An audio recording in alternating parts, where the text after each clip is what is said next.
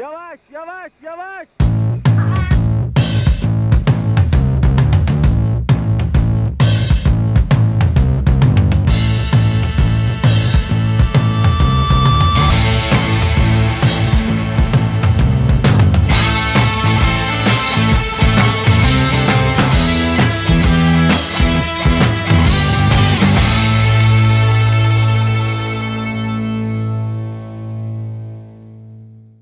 Selam millet.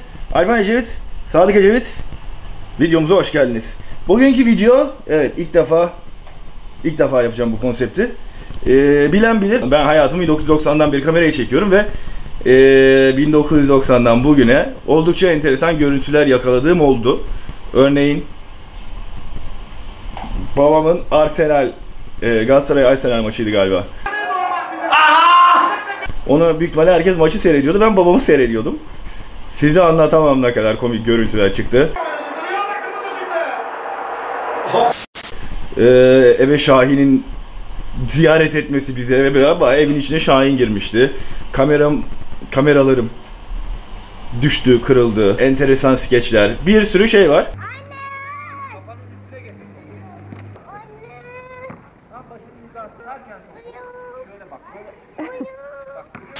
Bugün size en en kötü anılarımdan birini paylaşacağım.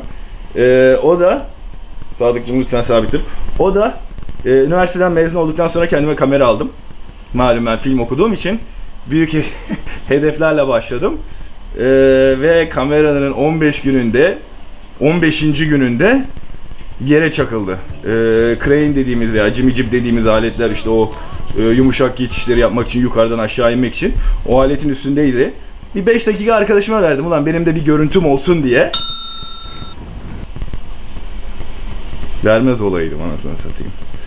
Yani belliydi çünkü dengesiz duruyordu tripodun üstünde. Hızlı çevirince ayakları havaya kalkıyordu. Çocuk aniden bir çevirdi. Ve patladı. Evet. Evet şimdi size bu görüntüyü paylaşacağım. çok keyifsiz, çok kötü bir gündü. Ve ondan sonra ki ondan sonra olan olay daha da kötüydü. Görüntü geliyor şimdi.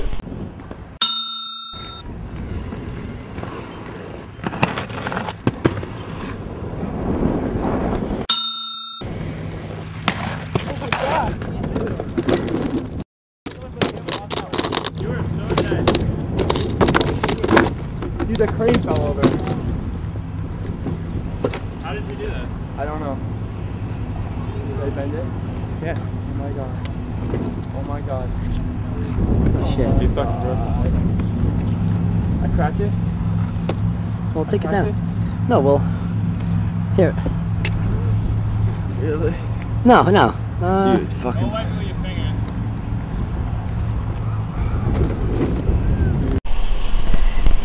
Evet o o kamera düştükten sonra şöyle bir geri zekalılık yaptım. Elimi e, çok sinirlendim ve çok üzüldüm. Onun için elimi yere vurdum ve şu kemiğimi kırdım. Bayağı anlamsız bir şekilde ve çok anlamsız bir şekilde de bir alçı yaptılar. E, işin güzel tarafı kamerayı bedavaya değiştirdiler çünkü kameranın üstünde hiç çizik yoktu. Önünde balık gözü olduğu için. Ama balık gözünü yaptırdığım yer e, re göndermek zorunda kaldım ve 800 dolar verdiğimi hatırlıyorum. O zamanın parasıyla 1000 liraydı 800 dolar. Şimdi şimdi hiç matematiğini bile yapmak istemiyorum ama işte sene 2008, 2007 800 dolara bütün lensi değiştirmiştim. O günden bugüne öğrendim ki bir yere yumruk atmak yalnızca geçici saçma sapan bir şey. Çünkü 500 dolar da hastane parası vermek zorunda kaldım elimi kırdığım için. Siz siz olun hiçbir yere yumruk atmayın çünkü çok saçma bir davranış. Sonra öğreniyorsunuz. Evet, eee, bu video böyleydi. Eğer hoşunuza gittiyse, beğendiyse aşağıda yorumlara yazarsanız çok sevinirim. Çünkü bende çok var böyle görüntü. Eee, ve işte hayatımın en enteresan anları diye veya işte başıma gelmiş komik anlar diye eee, videolar yapıp Sadık'la ve benle eee, sizi paylaş size paylaşacağız bu videoları. Kötü bir anı ama unutulmaz bir an oldu çünkü kameraya yakalandı.